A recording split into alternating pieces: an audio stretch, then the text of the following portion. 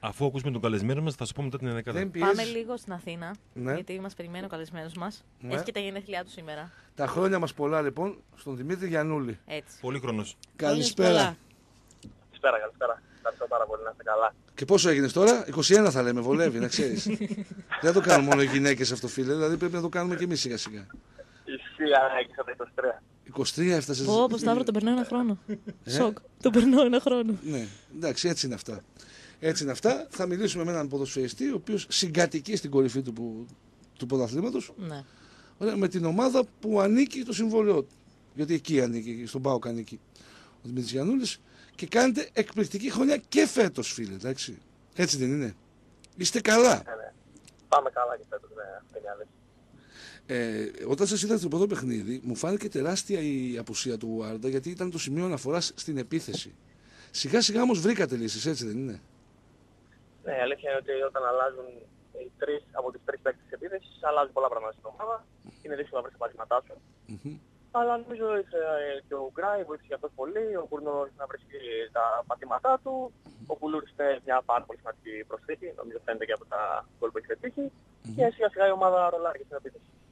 Έτσι είναι ακριβώς. Πώς τον βλέπεις τον κουλούρι, Γιατί κακά τα ψέματα στον Πάο υπήρχε μια κουβέντα αυτή κλασική, δεν κάνει, δεν ράνει τα γρήγορα συμπεράσματα. Σε ένα περιβάλλον που το εμπιστεύεται, πώς τον βλέπεις να λειτουργεί; Ε, νομίζω ότι τα στατιστικά του και μόνο λένε την αλήθεια. Είναι σε πολύ καλή κατάσταση.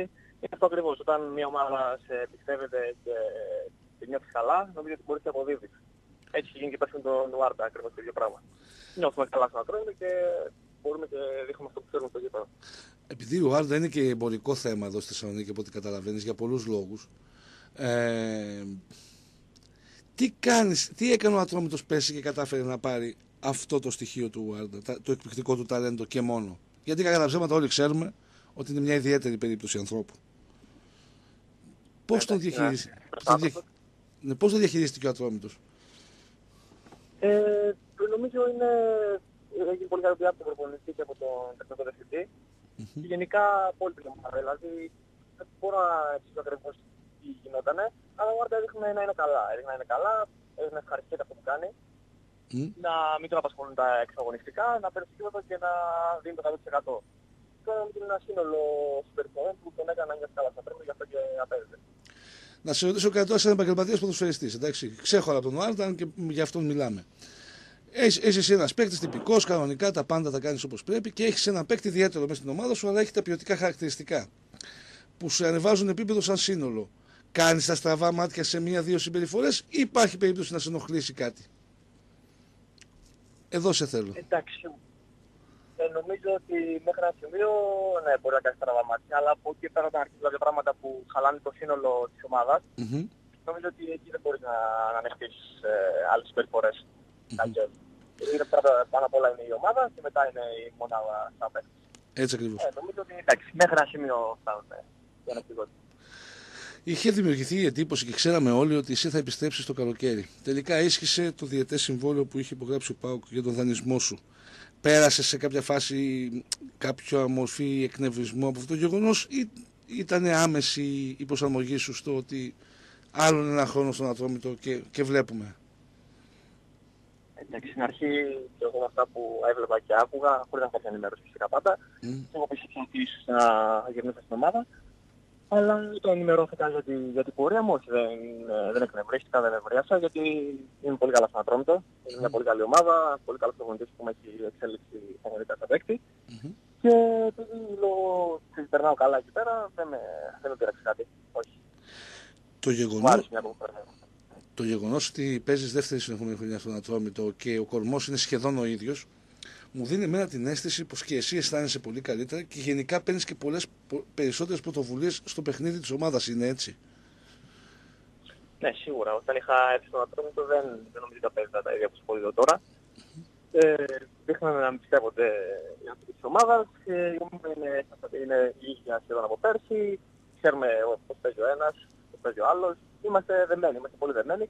Και από εκεί πέρα όταν είσαι δεμένος ε, με, τις- με τα στόπερ σου, με τα αμυντικά σου χαφ, νομίζω ότι μπορεί να δώσεις περισσότερα στο θετικό παιχνίδι. Γιατί έχεις επισύνει τα βόλια. Θυμάμαι την καριέρα σου όταν ξεκίνησες ένα αριστερό μπακ στη Βέρεια. Είχες κάνει μια χρονιά με 21-22 παιχνίδια, νομίζω μπορεί και παραπάνω, μπορεί να κάνω λάθος.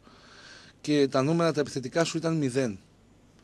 Χθες ξαφνικά, πέρσι, πέρσι συγγνώμη, ξαφνικά είσαι πρώτος στις assist με τον Πέρκα και τον Αδάλες, νομίζω, στο πρωτάθλημα. Φέτος ξεκινάς ακόμα πιο δυνατά. Είναι θέμα δουλειάς τελικά, είναι θέμα ρυθμού, είναι θέμα ποιότητας, είναι θέμα πώς καταφέρνεις και εξελίσσεσαι σε αυτό το κομμάτι. Σίγουρα πρώτα απ' όλα είναι η δουλειά. Ε, το δουλεύω καθημερινά, δουλεύω στις έντρες μου, δουλεύω στο να έχω καθαρό μυαλό την ώρα της τελικής πάσας. Αλλά από εκεί πέρα νομίζω ότι είναι και θέμα ομάδας, είναι και θέμα τύχης. Αλλά όταν έχεις καλούς επιθετικούς ε, μπορεί να τελειώνεις τις φάσεις όπως πρέπει, mm-hmm. αλλάζει, αλλάζει το όλο σκηνικό. Γιατί θα μπορούσε και σήμερα να έχω 5, 6, assist, τουλάχιστον. Αλλά εδώ η ομάδα δεν ήταν πολύ καλή οπότε είμαι και εγώ σε χαμηλά επίπεδα. Mm-hmm. Τώρα που η ομάδα παίζει καλά και δείχνει να παίζει καλό ποδόσφαιρο, έχω και τις assist και βοηθάς το παιχνίδι. Ε, κάποια κουβέντα με τον Μπάουκ για το τι μέλη γενέστε για την επόμενη σεζόν που τελειώνει ο δανεισμός στον Ατρόμητο έχει γίνει ή είναι κάτι που ακόμα είναι νωρίς και δεν έχει εικόνα; Όχι, όχι, είναι ακόμα πολύ νωρίς. Δεν γνωρίζω κάτι. Τελειώνει ο δανεισμός μου, αλλά από εκεί πέρα μια νυχτά μου. Μόλις τελειώσει ο δανεισμός μου, μένει άλλος χρόνος με την ομάδα, το ΠΑΟΚ και από εκεί πέρα βλέπουμε. Γενικότερα έχεις επαφή με τους ανθρώπους του ΠΑΟΚ; Ναι, έχω επαφή. Εντάξει, μιλάμε σε τακτά χρονικά διαστήματα και αυτό, αλλά για το πέρα δεν γνωρίζουμε κάτι ακόμα. Δημήτρη, συζητάτε κάτι περισσότερο από την Ευρώπη, γιατί εντάξει, φαντάζομαι ότι η συμμετοχή στην Ευρώπη για τον ατόμο θα είναι δεδομένη. Συζητάτε κάτι παραπάνω; Και χωρίς να έχετε παίξει τα τέρμπι ε... ακόμα. Δεν ξέρω αν το κουβεντιάζετε και αυτό. Ναι, σίγουρα δεν έχουμε παίξει τα τέρπι, το ξέρουμε και αν και τα περιμένουμε αυτά τα παιχνίδια γιατί μας αρέσουν αυτά τα παιχνίδια που σας ανεβάζουν εδώ σαν ομάδα. Από εκεί πέρα δεν έχουμε καν ακόμα την Ευρώπη εμείς οι παίκτες και οι διοίκηση. Ζητάμε καθημερινά ότι πρέπει να προσπαθούμε κάθε παιχνίδι. Γιατί αν θεωρήσουμε δεδομένη την Ευρώπη, στο τέλος αποδειχθεί μοιραίο αυτό. Αλλά σίγουρα όταν κερδίζεις ε, και βλέπεις ότι είσαι κοντά στην κορυφή, ε, γιατί όχι, ονειρεύεσαι. Δεν είναι κακό. Είχατε μια, τώρα που είπατε για Ευρώπη, είχατε μια σειρά αγώνων με την Πρέσβη που πραγματικά ήταν σχέδι παράνοια. Ε, μέσα στην, ε, στο εκτός έδρας παιχνίδι είστε κακοί για μεγάλο χρονικό διάστημα, το γυρνάτε σχεδόν. Καταφέρνετε, παίρνετε αποτέλεσμα στο παιχνίδι το εντός έδρας και τρώτε ένα γκολ που πραγματικά εγώ στη ζωή μου στα 43 μου χρόνια δεν το έχω ξαναδεί. Να μπερδευτεί η μισή ομάδα από τη δεύτερη μπάλα που είναι μέσα. Έτσι δεν έγινε. Ε, καλά δεν το ναι, κατάλαβα παραλύσαμε λίγο η αλήθεια είναι. Πήγαινε δεύτερη μπάλα, μπερδευτήκαμε, έγινε μια σέντρα. Έγινε όλο πολύ γρήγορα. Δεν, δεν μπορώ να καταλάβω κι εγώ τι έγινε, αλλά χάσαμε την πρώτη σε τα χέρια μας. Ήταν μεγάλο πλήγμα. Αλλά φοβόμαστε πως μας επηρεάσει στο πρωτάθλημα. Αλλά δεν ξεκίνησαν τα πέντε πρωταθλήματα και θέλουμε καλό μας και πάλι. Έδεσε η ομάδα. Να σε ρωτήσω, πώς το βλέπεις το πρωτάθλημα τώρα; Ο Πάοκ ξεκινάει με το 6 στα 6, καλύπτει αυτό το μείον 2. Ο Ατρόμητος με μια ισοπαλία ουσιαστικά είναι μαζί του. Τα ντέρμπι κρίθηκαν με ασπρόμαυρο φόντο ουσιαστικά. Το ένα το ντέρμπι ε, που δεν έπαιξε ο Πάοκ ήταν το χ με την ΑΕΚ που είναι βολικό πάντα για αυτόν που δεν παίζει το ντέρμπι. Ε, πώς το βλέπεις να πηγαίνει το πράγμα; Εντάξει, νομίζω ότι ο Πάοκ ξεκίνησε ιδανικά δείχνει σοβαρός με τις ε, μικρότερες ομάδες. Είναι πολύ καλός ε, στα τέρπι γιατί τα κέρδισε και αυτό έχει σημασία. Mm-hmm. που οι αντίπαλες ομάδες έκαναν κάποιες ευκαιρίες, mm-hmm. είτε βαθμένους στο τέλος. Και νομίζω ότι με την ε, ίδια συνέχεια δεν θα υπάρξει κανένα πρόβλημα για το Πάο. Είναι πολύ δυνατός, αλλά και εμείς θα είμαστε από κοντά όσο μπορούμε. Πέρσι στα δύο τρίτα ουσιαστικά έχετε να χάνετε έδαφος. Μετά τα δύο τρίτα. Έτσι δεν είναι. Καλά δεν θυμάμαι. Ε, ναι, γίνανε, είχαμε κάποια ατυχή αποτελέσματα. Αλλά εντάξει, ο στόχος που ήταν η Ευρώπη, ήμασταν μέσα. Με την εθνική είναι και αυτό κουβέντα αρκετά έντονη. Μέτρες εμφανίσεις κατά γενική ομολογία, άσχημα αποτελέσματα, ειδικά το τελευταίο πόνεσε. Πώς το βλέπεις, ε, πώς το έζησες αυτό το πράγμα; Εντάξει, σίγουρα η εθνική έχει πολύ ταλέντο, αγάπη τα ψέματα. Έχει πολύ ταλέντο, έχει πολύ καλούς παίκτες, παίζουν σε μεγάλο επίπεδο. Αλλά σαν ομάδα δεν δείξαμε καλά στοιχεία δεν είχαμε ομοιογένεια, ήμασταν, δεν ήμασταν, ήμασταν κατ' των προμηθειών και ήρθε το κακό αποτέλεσμα στη Φιλανδία που ουσιαστικά μας, μας βγάζει από την πρώτη θέση που ήταν ο στόχος. Mm-hmm. Από εκεί πέρα εντάξει, νομίζω ότι υπάρχουν μικρές ελπίδες που θα, θα πρέπει να κερδίσουν τη Φιλανδία για να διεκδικήσουν την πρώτη θέση.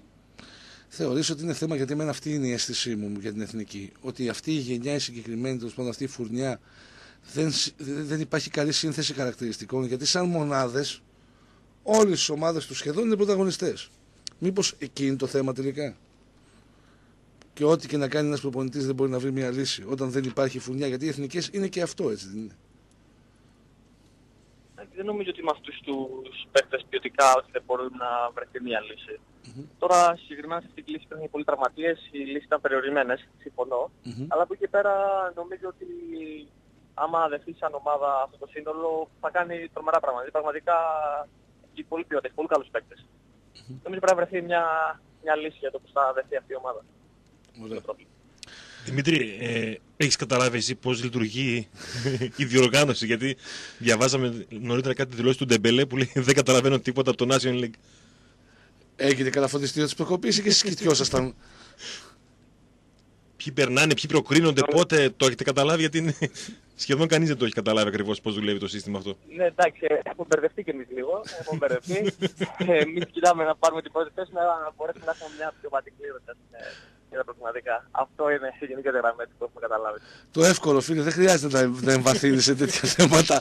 Εμείς κοιτιόμαστε εδώ κάθε μέρα. δεν υπάρχει- Βήμα-βήμα, ρε. Ναι. Φάση-φάση. Εντάξει, ο πήραμε ό,τι πτυχίο λίγο ήταν στη δύσκολο. ζωή μας, δεν το πήραμε, δεν χρειάζεται κάτι παραπάνω. Τέλος πάντων. Ε, Χρόνια πολλά και Πολύ εμπρός πάλι. και πάλι, Δημήτρη. Και πάλι χαρήκαμε που σε ακούσαμε. Ευχαριστώ πάρα πολύ. Χαιρόμαστε που σε βλέπουμε είστε γιατί καλά. βλέπουμε τα χαρακτηριστικά σου. Είναι κουτί για να Να είστε επιστρέψεις στον Πάοκ και να παίξεις αυτό που πρέπει να παίξεις για τη συγκεκριμένη θέση. Α, καλή τύχη στον άντρα με τον οποίο συμπαθούμε εννοείται γιατί είναι ένα πολύ ωραίο ποδοσφαιρικό project και υγεία πάνω απ' όλα, Δημήτρη μου. Ευχαριστώ πάρα πολύ. Να είσαι Ευχαριστώ πάρα καλά. Να είσαι Καλή καλά. συνέχεια. Να είσαι καλά, γεια σου. Δημήτρης Γιαννούλης, εξαιρετική περίπτωση, ποδοσφαιριστή.